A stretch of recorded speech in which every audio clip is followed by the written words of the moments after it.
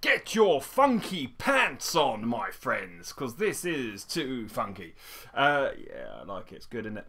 So, yeah, so um, I'm going to play this one with a plectrum. Oh, funk with a plectrum, you say so? You cannot do that. But I say, yes, I can. Uh, I'm just going to get that bit, that nice gain, yeah? Bit, finger. You get a softer, warmer, rounder sound. Le plectrum, a plastic on fingers, more of a Again, you can use it in funk if you want. Don't let people tell you you can't. First thing we're going to do is going to come to the first fret on the E string with your index finger. Boom, boom. Thusly, yeah? Um, and then come to the third fret on a D string with your little finger or your ring finger. To hit it three times. Uh, yeah, I'll just, what did I put that down for? Okay, so three times, yeah? Did it again. Uh, yeah, so bum, bum, bum, bum, bum, bum, do a quick open A. Come to the first fret on the A string with your index finger.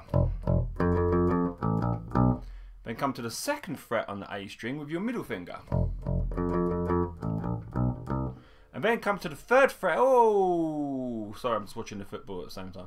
Uh, then come to the third fret on the A string with your ring finger. Okay, and then do the same thing again. Come to the first fret on the uh, E string, index finger twice. And then uh, three times on the third fret on the D string with your ring finger. So altogether we have bum bum uh, then we have this kind of like quick, kind of like groovy part. Yeah. Uh, so all you can do there is do a quick open A, and then uh, come to the sixth fret on the A string with your ring finger. Do another quick open A. Then come to the fifth fret on the A string with your middle finger. Do another open A and then come to the third fret on the A string with your index finger. So we have.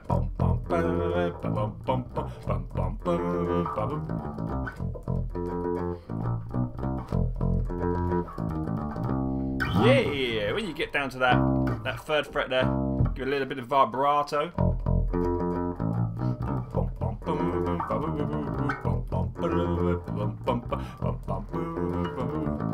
It Doesn't matter really, does it? It's funky with or without vibrato, my friends. Hope you enjoyed that lesson. I shall see you in tomorrow's.